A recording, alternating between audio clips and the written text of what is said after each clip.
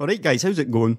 Once again, it's been a while since my last video. I've been working on this one for a very long time, and I was in Scotland for a week as well. And while I was over there, Nvidia had announced their third quarter financial results, and they were staggering. They made a massive amount of money on the back of gaming GPU sales, the kind of money that we have never seen them make before. Now, a lot of financial guys follow me, and I just thought I would do a video on this, but as time went by, I started looking deeper and deeper into the whole situation. And the further back I went, the more interesting things became. Most of you are going to learn something really interesting here. So we're going to start a way back in 2008. Now, I will probably do a full history video one day, but for the purposes of this one, all we really need to know is that historically, ATI and Nvidia traded blows in a GPU battle where one or the other normally held a quite commanding lead. In the run up to 2008, Nvidia had held the lead for around three years with their G80 and G92 chips, which we can actually see mentioned here in this AnandTech article.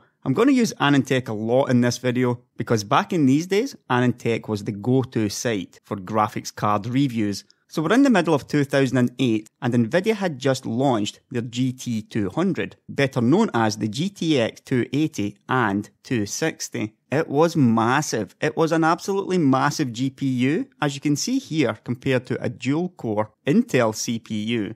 Now if we scroll down we can see that the GTX 280 had 240 stream processors compared to 192 of the GTX 260. So that's 25% more. So this was quite a heavily cut down GPU. Maybe not surprising because of the size of the GPU. I talk about die sizes a lot because it's very important from an economical standpoint. The bigger your GPU, the harder it is to manufacture. So the GTX 280 would be this full massive GPU whereas the GTX 260 would effectively have a quarter of the die fused off in order to improve yields. Looking at the prices though, $650 for the GTX 280 and $400 for the GTX 260. Now, AMD had recently bought ATI and were integrating ATI into their own company. And the rumours suggested that AMD had basically quit trying to compete against Nvidia's massive GPUs. They had given up on the high end and instead would try what they called the sweet spot strategy. This resulted in a GPU called RV770, which was less than half the size of the GTX 280. RV770 is better known as the HD 4870 and the HD 4850. We can see here though, it is less than half the size. You can probably figure out that the bigger the GPU, the faster it is. It's got way more transistors, and this should have been an easy victory for Nvidia. That's not what happened. So these are AnandTech's numbers. Seven of the biggest games back then, and a bunch of easily recognisable classics. As usual, the green bars are the Nvidia cards, and the red bars are AMD cards. And straight away we can see that the GTX 280 does win most of the games. In fact, it only loses in Bioshock, which was a nice win for the 4870. It makes up for that though with a big win in the older Oblivion game. What's really interesting here though is the 4870's performance against the GTX 260, where it wins all of them again apart from Oblivion. Over those seven games, the GTX 280 was only 4.7% faster than the HD 4870. The HD 4870 was 17.3% faster than the GTX 260, and the GTX 260 was only 6.4% faster than the HD 4850. Now, here's a list of some of the important stats on these graphics cards. Again, we can see that the GTX 260, which I have labeled GTX 260 192, has 192 cores. It also has a smaller memory bus and less VRAM compared to the 280. Again, the chip is GT200 and it was built on a 65 nanometer node. Now, if you look over to the right, we can see that the AMD cards were actually built on a 55 nanometer node. So that was a more advanced node. And this is what ATI and AMD normally did. They were always first to the new node, or in this case, what they call a half node. 55 nanometers is a half node of 65 nanometers. This would normally mean that you get slightly smaller die sizes and save a little bit of power. In this case though, we can see that it is half the size. The HD 4870 also had GDDR5 compared to GDDR3 of the rest of the cards. So this was another first for AMD. Effectively, what we're looking at is a much more advanced GPU, and that allowed AMD to get much closer to the GTX 280 than they really should have been. What really matters here is the very bottom column, the prices. HD 4870 launched at $299 and the 4850 was $199. So AMD had created a card which almost matched the GTX 280 at less than half the cost, easily beat the GTX 260 at $100 less, and even the 4850 almost matched the GTX 260 at half the price. Clearly, two of these cards are well worth buying, and the other two not so much. Now, Nvidia figured this out pretty quickly, and less than a month later were forced to slash the prices of the GTX 280 and the 260. The 280 was dropped down to $500, which in my book still makes it a very poor buy, and the GTX 260 was dropped down to the same price as the HD 4870, which in my book is still a bad buy. It clearly lost, yet it was still the same price.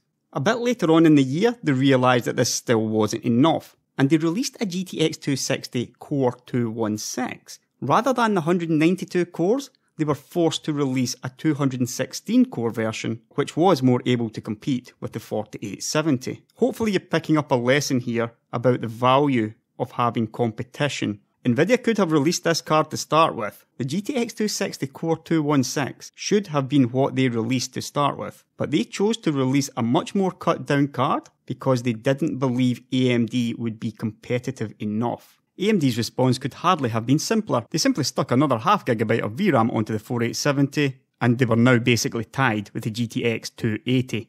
It was all rather simple for AnandTech as well. The bottom line, the HD 4870 1GB was the card to get. Now, like I said, only two of those cards appeared to be worth buying, and checking out the Steam hardware survey for November 2008, which is a few months after all of the four cards have been on sale. This is using the Wayback Machine, which is a really great resource for finding historical web pages.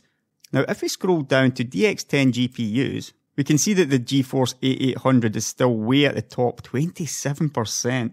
That card sold by the millions. I had one, it was a great card, obviously. But as you might expect, the HD 4800 series, which is the 4870 and the 4850, had already climbed up to 6.53%, a bit further below the GTX 260 at 1.48%, and a little below that is the GTX 280 at 1.22%. So overall, that's only 2.7% for the Nvidia cards and 6.53% for the AMD cards. So that's almost three times the sales for the AMD cards.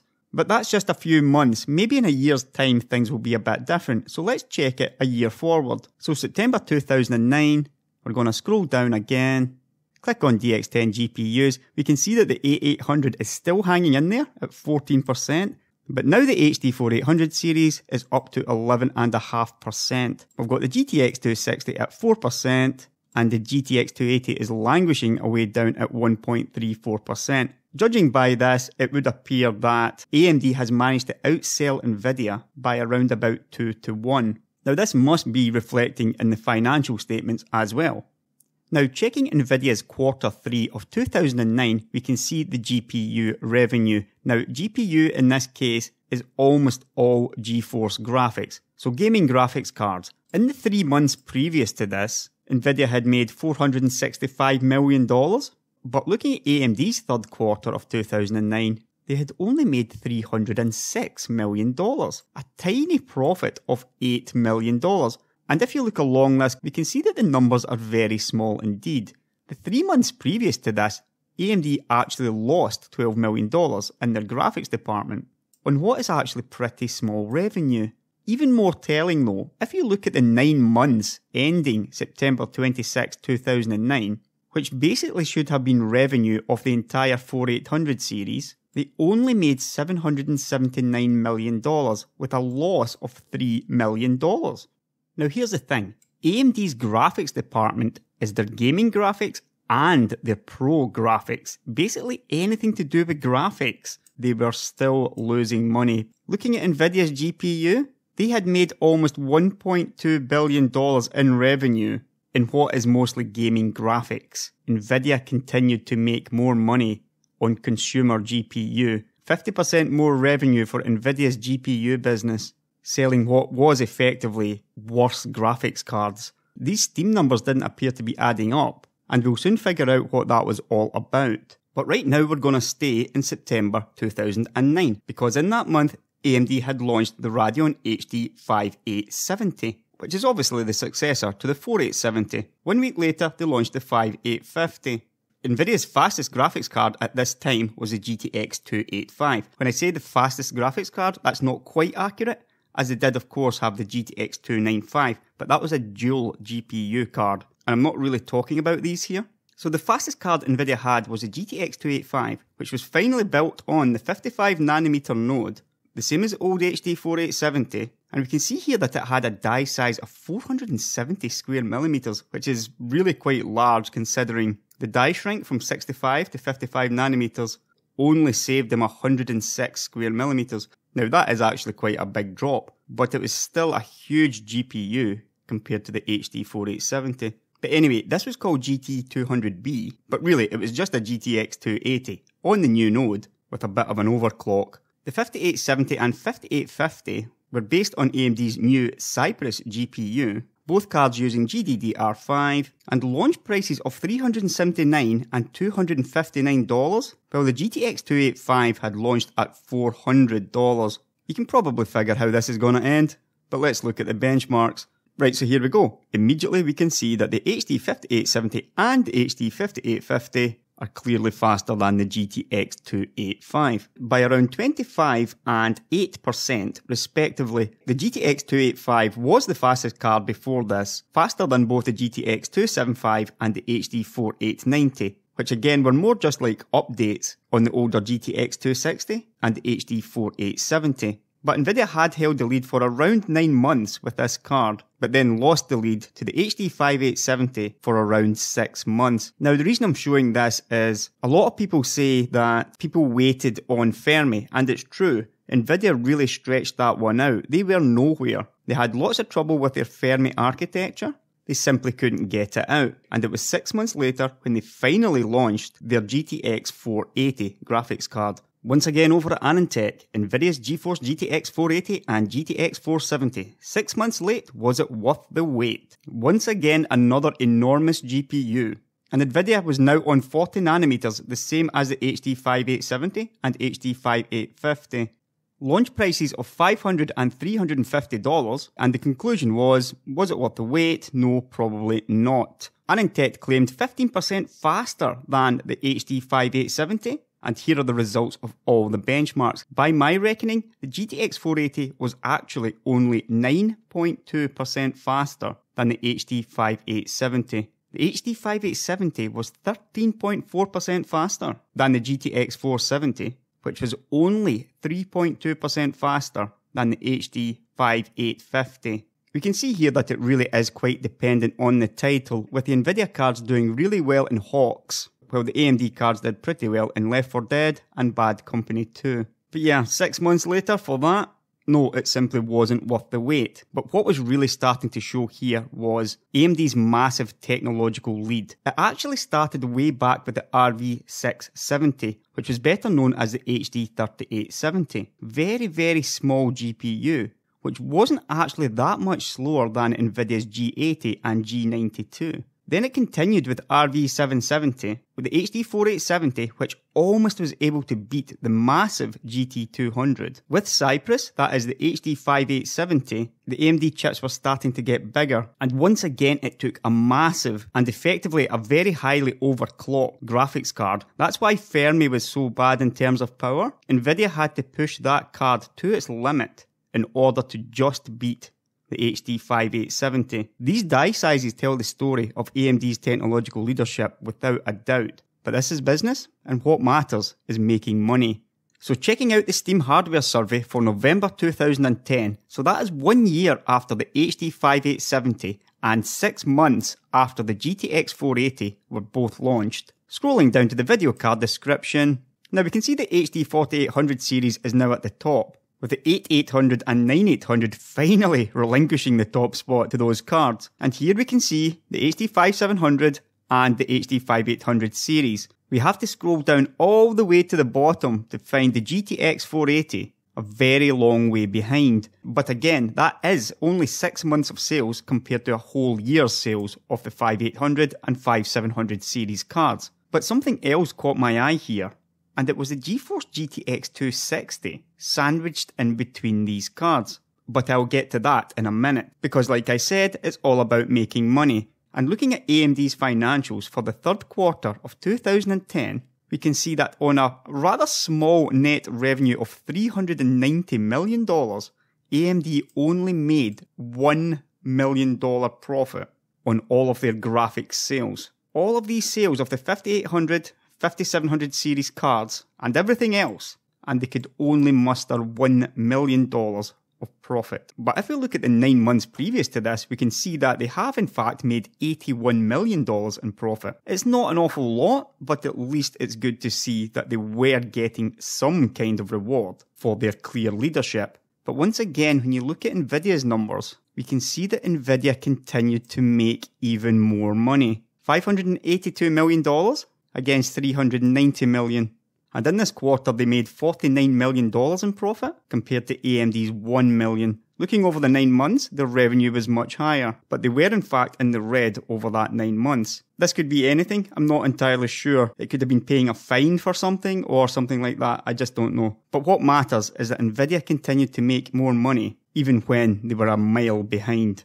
Once again, these Steam numbers don't really appear to be adding up. And seeing this GeForce GTX 260 sitting here helped me to realise what was going on. So I decided to fast forward another few months to February of 2011. Now by this stage, Steam had split the 4850 and the 4870, so no longer under one heading as the 4800 series, we can now see the proper split of these cards. And we can also see that the GTX 260 is ahead of them. Now, you may think, well, this is simple. People are upgrading their 4850s and 4870s to the 5850s and 5870s. But if that were the case, then these final numbers, which shows the change from month to month, would have been much higher. If you look at the GTX 260, for example, that card was still gaining more than any other card at the beginning of 2011. It was almost three years ago when the GTX 260 was released people were no longer buying this card. It probably wasn't even available at that point. Yet that's not what Steam Hardware Survey shows. In the end, I figured it out.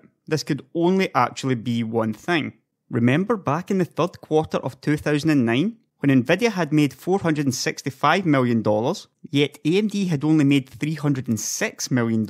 It all now makes sense. Nvidia sold more GTX 260s than AMD sold either 4850s or 4870s. These cards were launched at the same time, and AMD gave us the choice of paying half the cost for slightly less performance, that's the 4850, or more performance at around the same cost. And yet more people chose the GTX 260 anyway. But wait a minute, you might be thinking. Way back in September 2009, roughly three months after all these cards were released, AMD had a massive lead. They held 11.5% of the market with their 4800 series, while the GTX 260 was down at 4.18%. Now, even if you just split these two numbers, both of these cards should be outselling the GTX 260, but they weren't. What we are seeing here is enthusiasts, real graphics and gaming enthusiasts buying the HD 4800s because they knew that it was the better buy.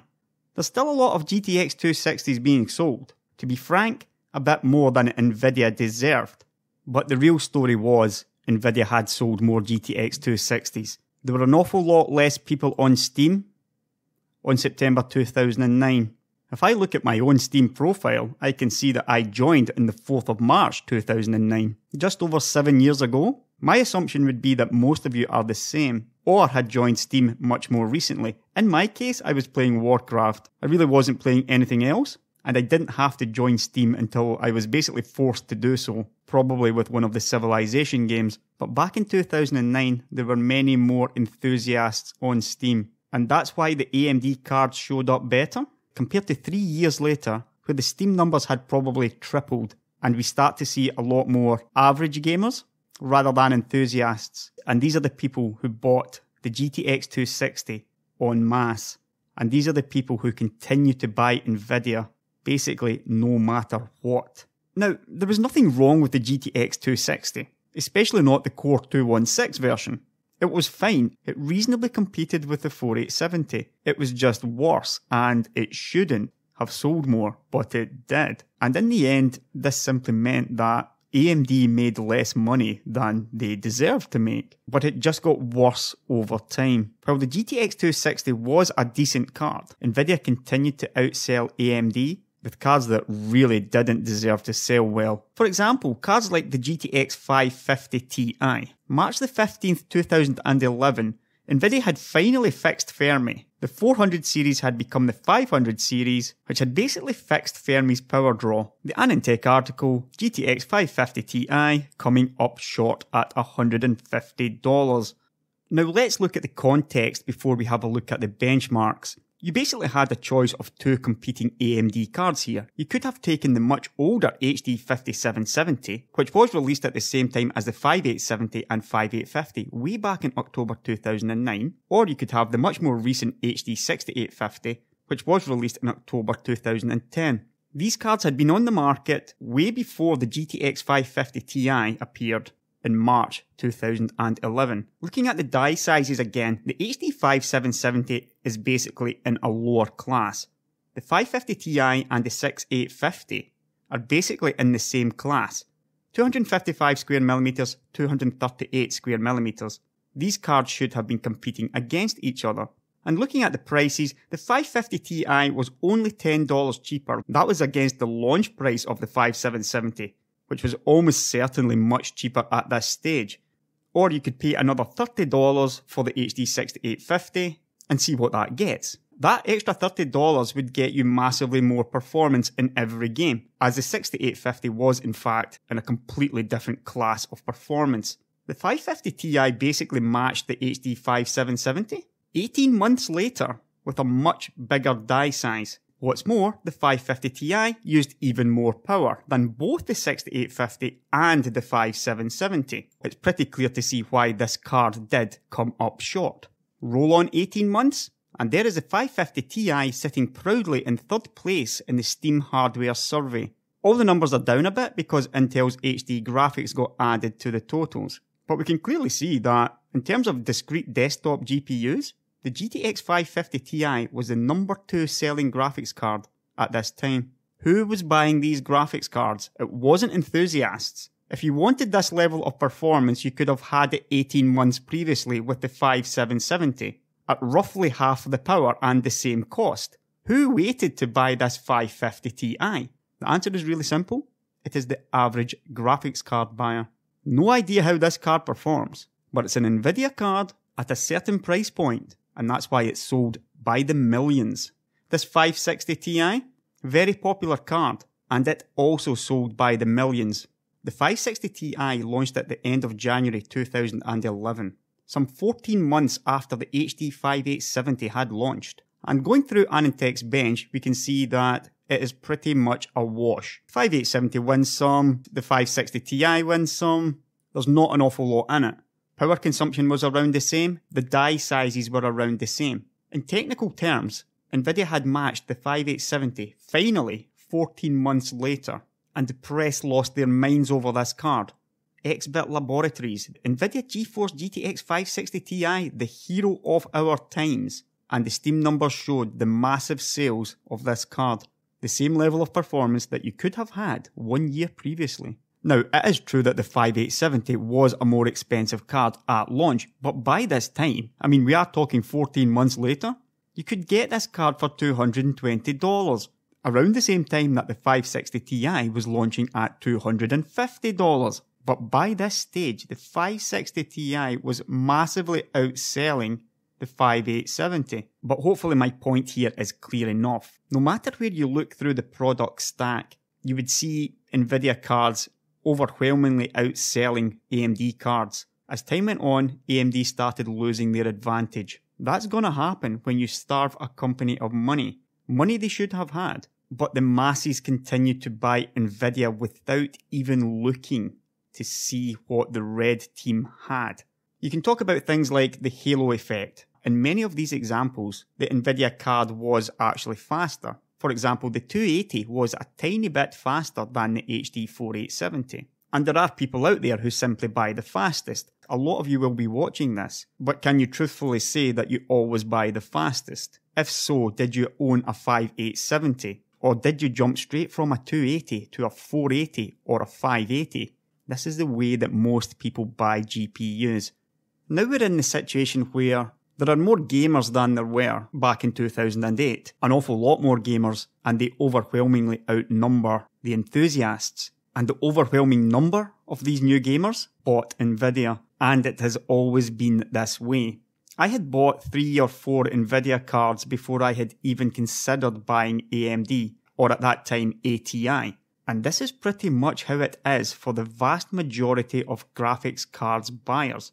You start off buying Nvidia, and then if you are really interested in the technology, you start looking at the benchmarks and maybe you can get a better deal, something like that. And when you look at it, it is very clear that over the years, AMD have offered far better value. And hopefully now it's clear that they had a massive technology lead as well. One which has sadly been eroded over time due to a lack of money. And the problem we have now is Nvidia is now making so much money that they have a practically unassailable lead. The enthusiasts are still buying AMD. The reason I know this is that I pay a lot of attention to forums and I read a lot of technology websites. Just after the GTX 1060 was released, TechPowerUp ran a poll asking if people would buy the GTX 1060 or the RX 480. The RX 480 got 40% of the vote, with the GTX 1060 only scoring 30%. This is not one or two people, yeah? 18,000 votes, 13,000 votes. This is thousands of people, thousands of enthusiasts who had made up their mind that the RX 480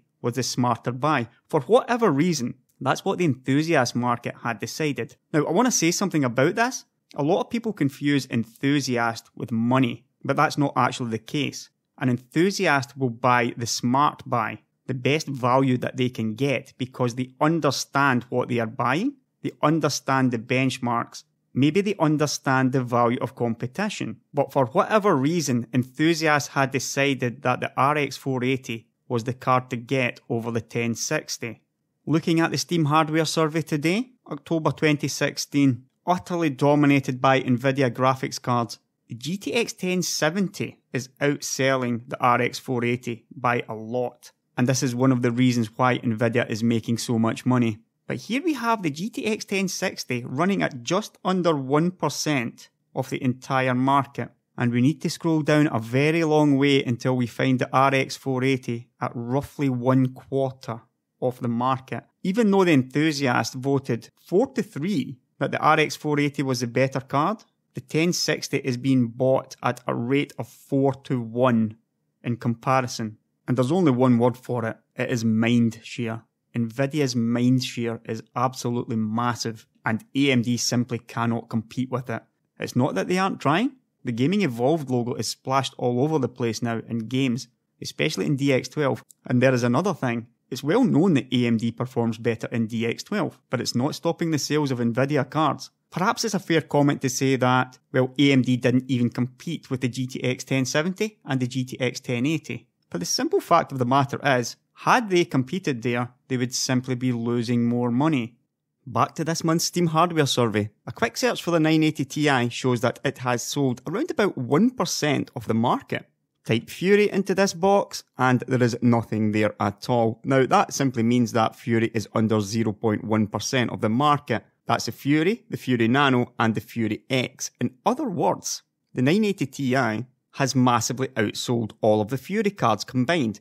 Now you could say, well, that's fair enough. The 980 Ti was the better card. Mm, yeah, it was better than Fury X. But what about Fury? What about the Fury Nano? Guys buying graphics cards in this kind of price range are simply not buying AMD. And this is another issue.